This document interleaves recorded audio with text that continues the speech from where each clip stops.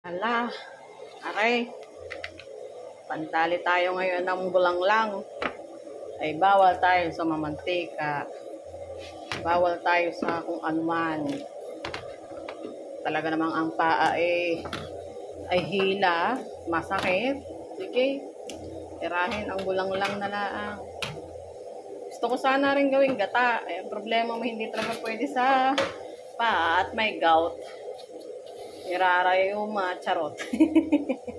ay bawal sa lahat, ay bawal sa mamantika, bawal sa maalat, ay bawal lahat. Ah, ay humigop na lang tayo na rin. May luya at may papaya tayo din eh. Pakuluan lang at palambutin eh. Higop sabaw na. Pasarap sana na rin kung may dahong sili. Kaso ay wala. Yung aming sili din eh, hindi pa na na ano, o, takpan na muna natin. Hayaan natin kumulo. O. Eh, eh, video muna. Ayan.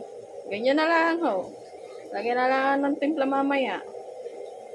Pagkakainin na ilipisaan ng kalamunding at saka, ano, sili. Eh, pwede na yan. Lamang tiyan din yan. Yan na lang, ho. Bye-bye.